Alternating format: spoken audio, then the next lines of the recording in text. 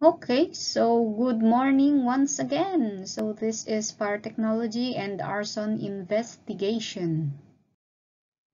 So as to the targets or objectives for this uh, session, at the end of the discussion, you should be able to understand, explain, and evaluate the chemistry of fire. And in this particular topic, we are going to discuss the elements of fire, the properties of fire, and the products of combustion and the stages of burning. So basically, the elements of fire includes the fuel, the oxygen, and the heat, which is represented by the fire triangle. So let us proceed with the first element of fire, which is fuel. When we talk about fuel, these are combustible materials which vaporizes and uh, can be burned. So for a fire to start, there must be something to burn. And fuel is a matter. And take note, matter exists in three physical states. We have there the solid, liquid, and gas. Now, solid melts to become liquids and this may be uh, vaporized and become gases no? Now uh, for the solid take note that in solids no uh, molecules are closely packed together. For liquids the molecules are loosely packed and for gas the molecules are free to move To understand more about fuel as an element of fire, we have three categories or general categories of uh, fuel. So first is we have here the solid combustible materials. These are actually either organic or inorganic, natural or synthetic, and metallic solid materials. So example of which includes the uh, coal, wood, a paper, a cloth, or even a grease. So uh, later on, on the succeeding slides, we will give more examples about this uh, solid, liquid, and gas. Now, uh, liquid, take note that liquid, this uh, particular liquid combustible materials are flammable liquid fuels and chemicals so this includes actually the gasoline, the kerosene, turpentine, uh, alcohol, a paint, a varnish, even a lacquer and the like. For the gas substances, these are actually toxic or hazardous gases which are capable of ignition. So what are the uh, examples of this? We have here the natural gas, we have here the propane, we have the butane, or even a hydrogen and the like of course. Focusing on the uh, solid fuels, it includes biomass, fabrics and textiles, including plastics, coal, or even peat. So for the biomass, these are actually replaceable organic matter as wood, garbage, and even animal manure that can be used to produce energy. So, biomass materials other than wood are used as fuel. However, take note that uh, there are also factors which affects the combustibility of wood and the wood-based products. Uh, first is we have here the physical form as to the uh, thickness. Another is uh, we also have the moisture content or the water content. Of course, uh, lesser moisture or lesser water will make a wood be burned faster. Another factor is we have there the heat conductivity, including, of course, the rate and the period of heating, including the rate of combustion, and, of course, the ignition temperature. Next here is the uh, fabrics and the te textiles. So uh, basically, fibers and textiles are actually combustible. And when we talk about fiber, these are very fine, thin strand or a thread-like object, which includes the natural fibers and the synthetic or the artificial fibers. Take note when we talk about natural fibers, these are from plants, uh, animals, or minerals. So example of this are the cotton, silk, wool, cashmere, hemp, or ramie. Under the synthetic or artificial fibers, of course, these are organic fibers, which includes the uh, cellulose fibers or uh, cellulose uh, acetate fibers or non-cellulose fibers and inorganic fibers, which includes there the uh, polyester, acrylic, spandex, elastane, the rayon, and even nylon. So this fabric are twisted or woven fibers and textiles are machine woven or knitted fabrics. Now, uh, we also have here the uh, pros and cons of the synthetic fiber fabrics. So, uh, the for the pros, of course, under synthetic, these are inexpensive, wrinkle-free, moisture-wicking, low maintenance. And of course, on the cons, these are non-biodegradable, it is man-made, it is prone to heat damage, and uh, it uses harsh chemicals. Now, on the uh, natural fiber fabrics, uh, the pros includes hypoallergenic, it is breathable, it is light or shedding, or light shedding, and it is biodegradable.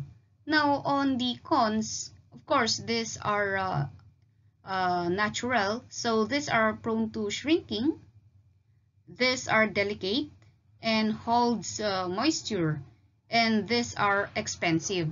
So uh, if you are going to take note, the uh, uh, the synthetic fiber fabrics are more prone to heat damage than that of the natural fiber fabrics. Next here is we have there the plastics. These are uh, ordinary fuels under Class A, except those materials composed of or um, containing cellulose nitrate.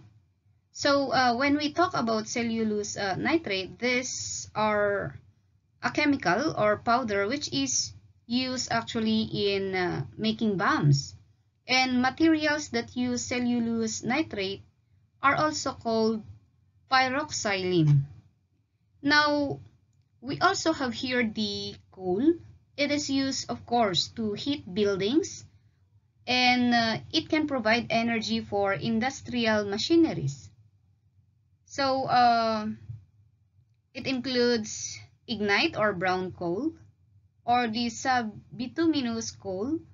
Uh, when we talk about bituminous coal, uh, these are uh, most plentiful.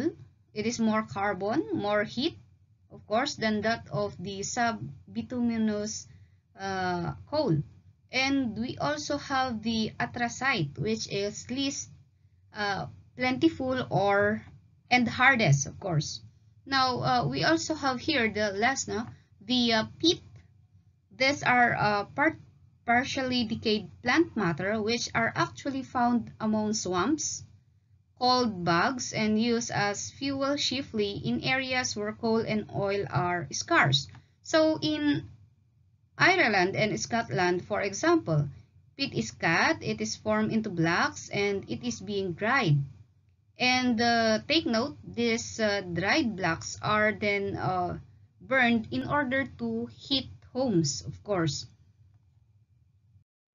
Next is we have here the liquid fuels. And under the liquid fuels, we have the uh, so-called flammable materials and the combustible materials. Now, uh, when we talk about flammable materials, these are materials which is considered flammable if it has a flash point of any temperature below 37.8 degree Celsius or 1000 degree Fahrenheit. On the other hand, when we talk about combustible materials, these are uh, materials which is of course considered combustible if it has a flash point higher than 37 0.8 degrees Celsius or 1000 degree Fahrenheit and below 93.3 degree Celsius. Now, take note that in the uh, flammable materials, the hazards include the production of vapors which actually burn or it is corrosive or uh, they are oxidizers, toxic, narcotic, and unstable. So we also have the so-called slop over wherein the water is trapped at the uh, bottom of storage tanks and then it vaporizes from heat expanding and expelling contents above. Now take note that uh, technically of course flammable and combustible liquids do not cause actually fire.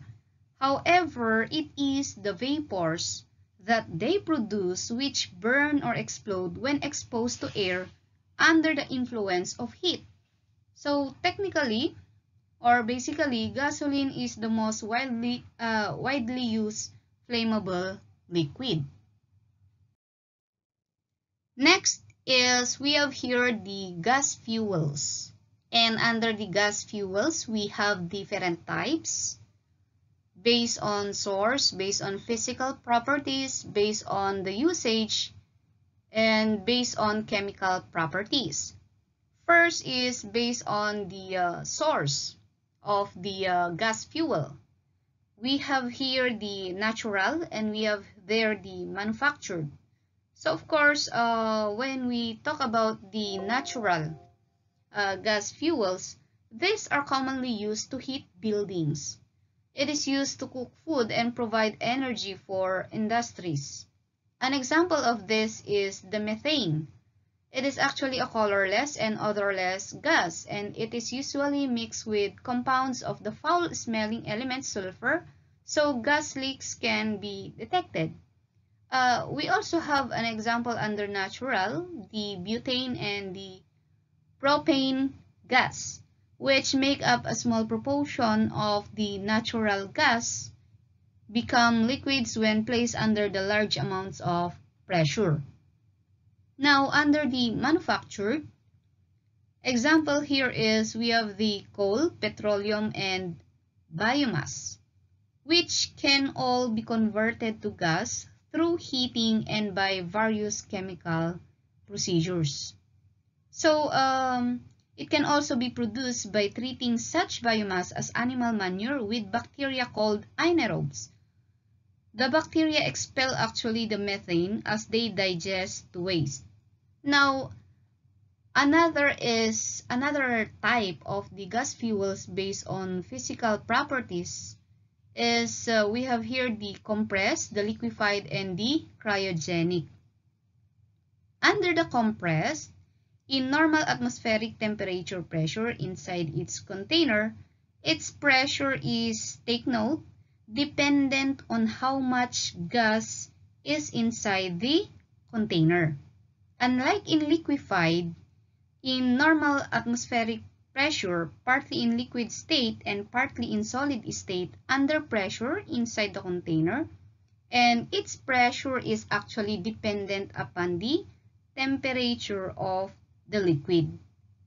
So uh, take note that in compressed, it is dependent on how much gas is inside the container, and liquefied is dependent upon the temperature of the liquid. On the other hand, cryogenic are liquefied gases which exist in its container at temperature far below the normal atmospheric temperature and usually slightly above its boiling point with low moderate pressure. Now, we also have here types of gas fuel based on the usage. We have the uh, fuel, industrial, and medical gas. Now, under, of course, the uh, fuel, it is used uh, for burning with air to produce heat and utilized as power or uh, it is used as light sources. Now, of course, in the industrial gas, it is used in the uh, industrial processes such as the uh, oxygen, or acetylene, which are used in welding and cutting of metals. It also includes uh, the uh, freon, the ammonia, the sulfur dioxide, the hydrogen, the nitrogen, the chlorine, and the fluorine, which is, uh, or uh, it also includes the uh, gas which are used for refrigeration or chemical processing or even water treatment. Now, uh, we also have the medical gas. So, of course, uh, in the medical gas, it is used for treatments such as anesthesia and for uh, respiratory therapy such as the chloroform, the nitrous oxide, and even oxygen. And the last among the gas fuels is the types of gas fuels based on chemical properties. So we have, of course, the uh, flammable gases and the non-flammable. Of course, uh, these are any gases. When we talk about flammable gases, uh, these are any gases which burn in normal concentration of oxygen in the air. So it includes the uh, natural gas, which is the most uh, common flammable gas. We also have methane. Uh, uh, for methane, these are lighter than air and it is not actually toxic. We also have propane and the butane, which are actually colorless, tasteless, or even odorless and not toxic. However, it is heavier than air. We also have acetylene under the flammable gases, which are actually colorless, tasteless, odorless, and shock sensitive. Another example is we have there hydrogen. We also have the ethylene oxide. And we also have oxidizer. Oxidizer can actually burn inside its own container. Now, we also have the so-called the non-flammable, in which it includes gases that which does not burn in air, or those that do not support combustion is uh, called the uh, inert gases. Now, example of which is uh, the oxygen, which is the very most common non-flammable gases. It does not actually burn. And uh, under the non-flammable, it also includes or it includes also the ammonia, refrigerants, even halogens, even ha acid gases. And we also have there the inert gases and other gases. Another is, uh, we have here the reactive gases. So when we talk about reactive gases, these are any gases that will react within itself. And we also have the toxic gases. These are any gases that may complicate firefighting efforts due to its serious life hazards. To continue under the fuel, we have also other types which includes the chemical fuels and the nuclear fuels. So uh, when we talk about chemical fuels, these are produced in solid and liquid form which create great amounts of heat and power. So basically, these uh, chemical fuels are uh, used in rocket engines and these are used in uh, some racing cars. And uh, last is we have there the nuclear uh, fuels. So under the nuclear fuels, it provides energy through the fission or fusion of their atoms. So when we talk about nuclear fission, there is a split of the nucleus of atoms. And when we talk about the nuclear fusion, course, the combination of the two light nuclei, nuclei of atom. Now, uh, take note that in the nuclear fuels, uranium is the most common. However, the plutonium uh, also provides nuclear energy. So, when these atoms, when the atoms, I mean, of these elements undergo fission, they release tremendous amounts of heat. and nuclear fuels are used mainly to generate electricity. So they also power some submarines and even ships. And nuclear energy can also be produced through the fusion of hydrogen atoms. So our second element of fire is we have here the heat. Um, as we have stated, for a fire to start, there must be a source of ignition. And uh, this source of ignition could be either in the form of uh, usually actually heat or a spark. And these heat sources include open flame, hot surfaces, sparks and arcs, friction chemical action, electrical energy, and compression of gases. So basically, when we talk about heat, it is uh, an energy in transit. In other words, it always flows from a substance at a higher temperature to the substance at a lower temperature, raising the temperature of the latter and lowering than that of the former substance, providing the volume of the bodies remains constant and heat does not flow from a lower to a higher temperature unless another form of energy transfer work is also present.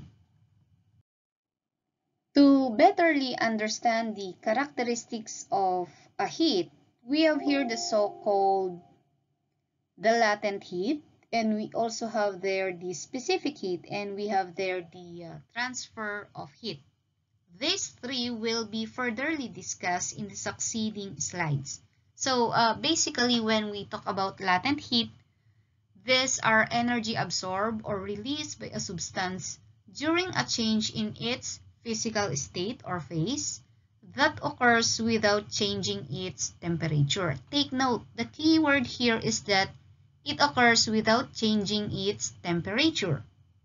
Now, in specific heat, the amount of heat to be supplied to the unit mass of a system in order to increase its temperature by 1 degree. Take note, in a specific heat, there must be, uh, uh, what you call this, an increase or decrease in its temperature by 1 degree. And we have here the transfer of heat.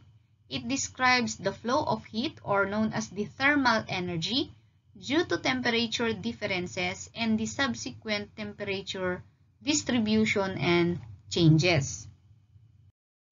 Try to observe the figure that I am uh, showing in the uh, PowerPoint presentation.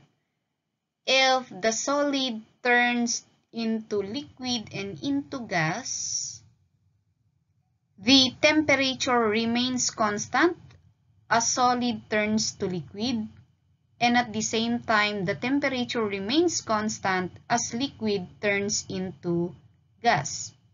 So uh, between the solid and the liquid, there is a latent heat of fusion and between the liquid and the gas, there is a latent heat of vaporization. However, take note that uh, the temperature remain constant as solid turns into liquid and as it turns into gas. So basically, for example, when a pot of water is kept boiling, the temperature remains at 100 degrees Celsius until the last drop evaporates because all the heat being added to the liquid is absorbed as latent heat of vaporization and carried away by the escaping vapor molecules.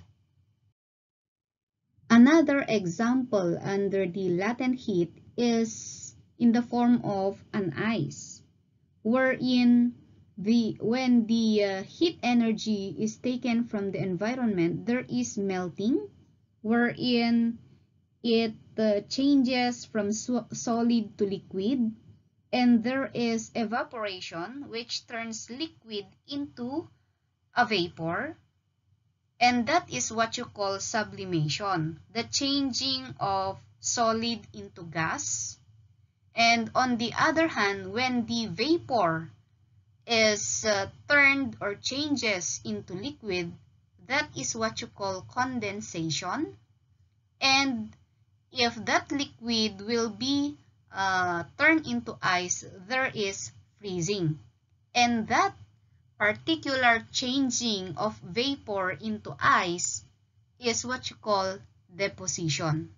So the heat energy is also released to the environment. So if the pressure is constant, these processes occur at constant temperature. So from ice, it vaporizes and then it will return to become an ice and uh, the temperature is still constant and that is what you call the latent heat. Another is we have here the specific heat the heat capacity or the measure of the amount of heat required to raise the temperature of a unit mass of a substance 1 degree. So if the heating process occurs while the substance is maintained at a constant volume or is subjected to a constant pressure, the measure. So generally, the two specific heat of a substance depend on the temperature. Just like on the uh, figure, that is uh, presented in the PowerPoint. Uh, these same are in uh, these same are having uh, 100 degree Celsius temperature. However, the uh, specific heat for a metal spoon is different to the specific heat capacity of a wooden spoon. So, uh, in in the daily, in our daily life, we experience that if a metal spoon is uh, placed in a boiling water, when we touch it is very hot or it's too hot.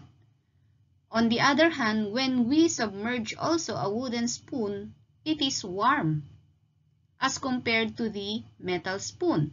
So, uh, basically, the uh, different materials have their specific heat capacity. So, as I was saying a while ago, different materials have different uh, specific heat capacity.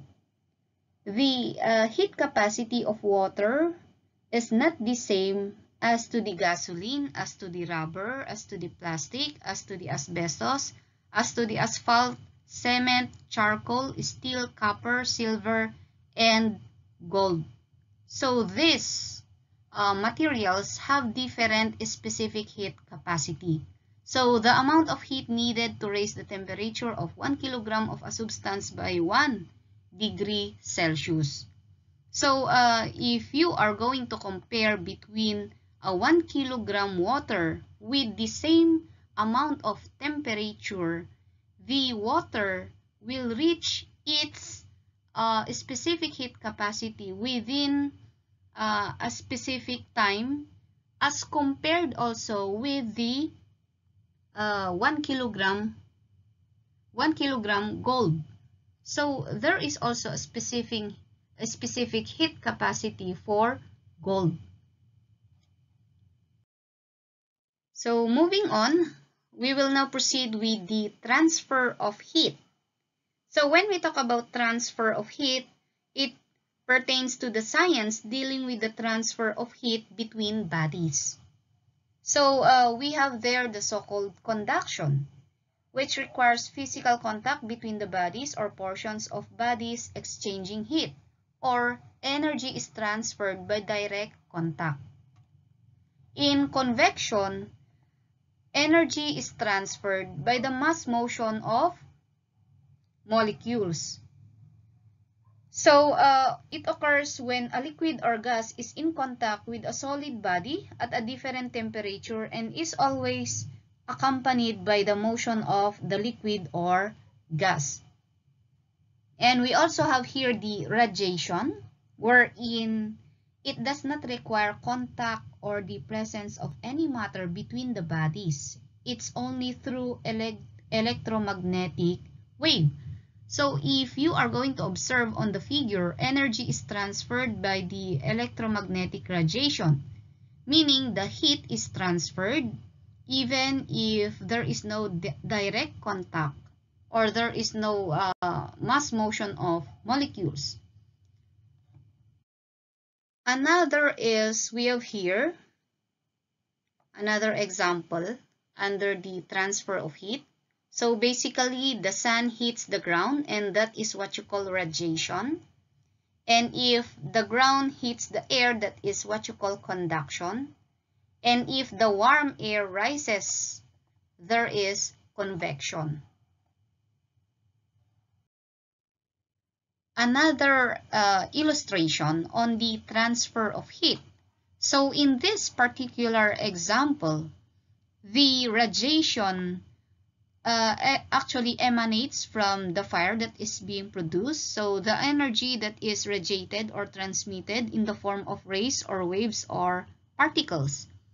And the uh, uh, there is conduction if there is already transfer of heat or electric current from one substance to another by direct contact. And uh, there is already convection if the transfer of heat is through a fluid uh, or liquid uh, or gas caused by molecular motion. So uh, in this particular uh, example, the firewood which is uh, burning will transfer radiation to the cookware and that cookware will uh, be conducted and the things that are being cooked in that cookware will result to convection. And last under the transfer of heat is the direct flame contact. This is actually the most hazardous structure ignition mechanism because uh, from the word itself, the flame has a direct contact to a particular substance. So heat may be conducted from one body to another by direct flame contact. So the fire spreads along or thorough uh, burning by flame contact. So there is a thorough burning if there is a direct flame contact. So moving on, and this is our last element of fire, which is the oxygen. So oxygen in air is the common oxidizing agent to combine with fuel vapor. And in the components of air, we have there uh, nitrogen with 78%, oxygen with 20.9%. In some other uh, sources, it is uh, rounded off at 21% and uh, 1% inert gases or other gases which may include argon or the carbon dioxide. Now take note that 12% of the oxygen is insufficient to produce fire. However, at 14 to 15% oxygen, it can support flashpoint. And at 16% to 21%, it can support fire point. Okay, so I hope you are still there listening to my lecture. Now let us proceed with the properties of fire. So in this particular slide, we will focus on the physical properties of fire. So uh, we have here the specific gravity, which involves the ratio of the weight of a solid or liquid substance to the weight of an equal volume of water. On the other hand, we have here the uh, vapor density, the weight of a volume of pure gas composed to the volume of dry air at the same temperature and pressure. And likewise, we have there the vapor pressure, the force exerted by the molecules on the surface of a liquid. And temperature uh, actually measures the degree of thermal agitation of molecules. And we have here the boiling point, of course the constant temperature at which the vapor pressure of a liquid is equal to the atmospheric pressure. Next is we have there the uh, ignition or kindling temperature, the minimum temperature at which the substance must be heated in order to initiate combustion. And once again, we have here the fire point, the lowest temperature of a liquid in an open container at which vapors are evolved fast enough to support combustion. And last, we have here the flash point, the temperature at which a flammable liquid forms a vapor-air mixture that ignites. So this mixture, uh, mixture is uh, mixed with within the explosive range. So to burn a fuel or a combustible material, its temperature must be raised until ignition point is reached. Thus, before a fuel start to burn or before it can be ignited, it has to be exposed to a certain degree of temperature. And when the temperature of a certain substance is very high, it releases a highly combustible vapors which are known as the uh, free radicals or the combustible vapors such as hydrogen gas, carbon monoxide, carbon dioxide, and the nitrogen. So uh, during the process, as you can see on the figure, the process of pyrolysis, it involves the fuel that is being heated until its temperature reaches its fire point. And there is a decomposition that takes place wherein moisture in the fuel is converted to vapor. And this decomposition produces combustible vapors that rise to the surface of the fuel, which is the free radicals. And the free radicals undergo combustion. So uh, we have here the uh, the uh, figure for this uh, particular uh, pyrolysis. Now let us proceed with the chemical properties of fire. So endothermic reaction changes whereby energy or the heat is absorbed or added before the reaction takes place.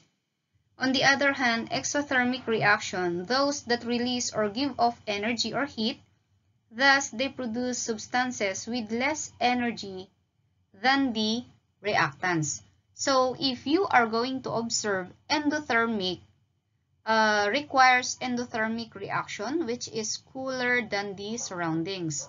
And in exothermic, the exothermic reaction is hotter than the surroundings. So uh, the energy is conserved in chemical reactions and the total energy of the system is the same before and after a reaction. Another chemical property of fire is the oxidation or a chemical change that is exothermic, a change in which combustible material or the fuel and the uh, oxidizing agent or the air reacts. So uh, when we talk about oxidation, these are the chemical reaction with oxygen combining with a substance to form new substances. So example of this oxidation is the combustion which is the same as actual burning or there is a rapid oxidation as you can see on the figure. And another chemical properties of fire is we have here the flames. Basically, flames are incandescent or uh, very bright, glowing with intense heat gases. So it is a combustion product and a manifestation of fire when in its gas phase combustion. So uh, from the figure being flashed on the PowerPoint, as you can see, there are different uh, forms or there are different uh, types of flames as you can see. As you can see also, we have here different uh, figures, different uh, size. Even uh, on the uh, color of the flame, there are differences. Even on the uh, characteristics of the smoke produced by the flames, there are differences. So what are these differences that I am referring to? uh, flame in terms of the uh, color and the completeness of combustibility of fuel. We have there the so-called luminous flame and the non-luminous flame. So luminous flame is orange-red deposit soot at the bottom of a vessel being heated due to the incomplete combustion and has a low temperature. As compared to the non-luminous flame, it is blue or there is a complete combustion of fuel and has relatively high temperature.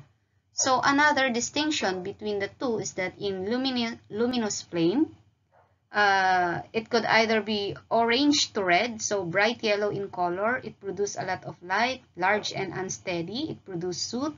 It has four zones. It burns quietly and moderately it is hot. In non-luminous, uh, as we as we stated a while ago, it is uh, blue in color. It produces less light.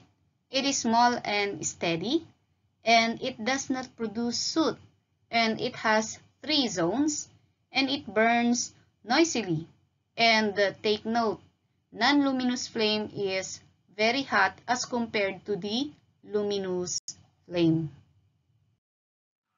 Another uh, characteristics or type of flame is uh, based on the fuel and air mixture. So we have here the so-called the premix and we have there the so-called diffusion. So in premix, it is exemplified by a Bunsen type laboratory burner where hydrocarbon is thoroughly mixed with air before reaching the flame zone. So in premix, the heat release occurs much, much faster and there is an increased flame propagation and there is no definite theories to predict behavior. Unlike in diffusion, it is observed when gas or the fuel alone is forced through a nozzle into the atmosphere, which diffuse in the surrounding atmosphere in order to flow to form a flammable mixture. So uh, one common example under the diffusion flame is the flame produced by the candle. So it is governed purely by molecular diffusion and the flame of the uh, oxyacetylene torch wherein there is a diffuse or dispersed or widely spread flame. So uh, in diffusion, it can obtain high rates of combustion energy released per, per unit volume. And another example is the uh, diesel engine, wherein uh, modeling is very complex. There is no well-established approach in diffusion. Another is, uh, we have here the uh, types of flame based on smoothness so if the particle follows a smooth path through a gaseous flame, it is laminar. And those having unsteady, irregular flows, as uh, physical size, gas density, or velocity is increased, uh, that is what you call uh, turbulent. So all laminar gas flows tends to become turbulent. So uh, moving on with our discussion, let us now proceed with the products of combustion. So basically, first we have here the fire gases, the uh, chemical composition of the fuel, percent of oxygen present, and the temperature of fire. And we have here the uh, flame, which is the luminous body of a burning gas. So it is the manifestation of the fire when the fire is in its gas phase combustion. And of course, a heat is produced wherein a form of energy is generated by the transmission of some other form of energy. And of course, last is we have there the smoke, a visible product of incomplete combustion. So there is a mixture of oxygen, nitrogen, carbon dioxide, carbon monoxide, and finally divided particles which are released from the burning material. So another illustration under the product of combustion, of course, once again, we have there the uh, gas, the flame, the heat, and of course, we have there the smoke. So uh, take note that uh, there is no combustion if one of this uh, product is not produced. Wow, we are now on our last topic of this uh, discussion the stages of burning. So as you can see, these are the uh, stages. So we have there the incipient stage and then there is a growth of the uh, uh, fire or burning and then until it will be fully developed, until it will begin to decay. Another uh, illustration on the stages of burning, as you can see on the uh, illustration or the uh, picture, we have there the incipient phase or uh, the beginning stage of fire, wherein uh, in that particular example, there is still normal uh, room temperature, and then followed by the growth and growth of the fire or burning, which involves the uh, free burning phase, uh, wherein burning stage whereby materials or structures are burning in the presence of adequate oxygen supply. So if you can observe, the fire has involved more fuel and the oxygen supply is depleted. And last is the smoldering phase or uh, there is a full development of the uh, burning process and the burning stage wherein flame ceases but dense smoke and heat completely fill the confined room. Another example can be uh, seen in this uh, particular picture or illustration among the uh, matches.